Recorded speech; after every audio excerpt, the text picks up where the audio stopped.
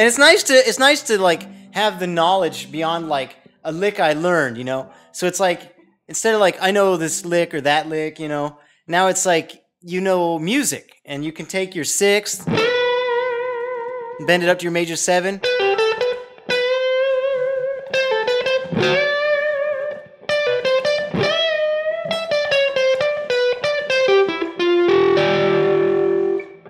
And like you can like explore. I was just going a sequence, like bending up from the sixth to the seventh, and then you see what I'm doing? So six, bend up to seven, and then I play the uh, seven, fifth, sixth, seventh. So it's like after the bend. And then I do the same thing on the next like step of the ladder where I bend from the seven to the root. And then I play the root, sixth, seventh, All right. And then from the root to the nine. And I'm just repeating over and uh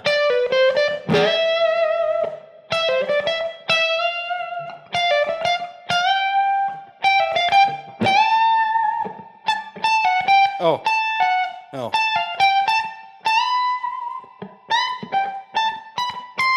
You know, oof. Then once you're once you get up to there, you could play like your E7 chord. Yeah, yeah. I got that from like those like New Orleans blues uh, piano players, like uh, Randy Newman and uh, Dr. John. So I thought C major seven, right? And then I thought, now we'll switch to the E chord. So instead of thinking this shape, or this shape, or you know this here, I thought of this because I'm up in this area already. Cool. Now I started from the sixth which is exactly where we started on our major chord. That's just where I was. So I took the sixth and I bend up, up to the flat seven, because it's an E chord, E7.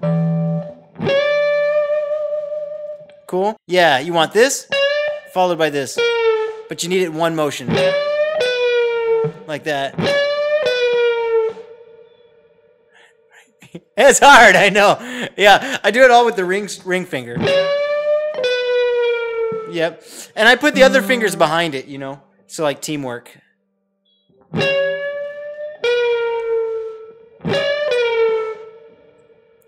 And then what I did was I after I released down to the third of the chord, which was the 13th fret, yeah.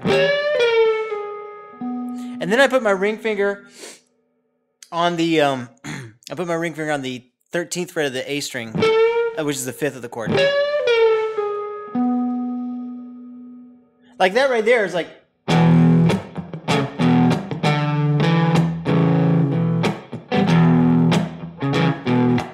You could take a little riff and be like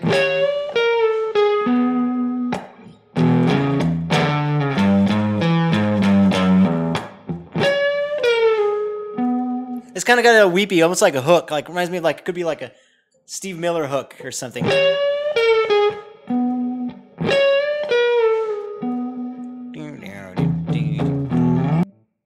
Well, I took that shape, right? And then I moved it down a fret. Yeah. If I wanted to be really interesting, I could do it again. And then and that's really important. That's where I'm playing the third of the E and the root of the E. So that's where my shape had to change to skip a fret. As where before I was like, you know, I was doing this, these two fingers, the same shape.